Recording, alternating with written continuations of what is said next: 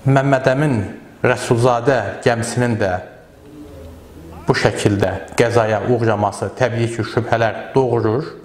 və əgər Mübariz Mənsimov bununla bağlı narahatlığını ifadə edirsə, təxribat sözünü dilinə gətirirsə və bununla bağlı müəyyən əsasları da varsa, təbii ki, bu doğru ola bilər. Amma biz inanmaq istərdik ki, Məmmədəmin Rəsulzadə adına bu şəkildə qısqancılıq olmaz bu, bu şəkildə təxribata yol verilməyib və bu sadə bir qəzadır. Əgər doğrudan da bunun arxasında bir qüvvə dayanırsa, Azərbaycan-Türkiyə münasibətlərinə xələl gətirmək meyilləri ortada varsa,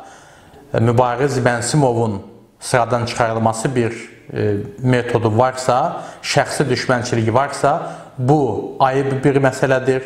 dözülməz bir məsələdir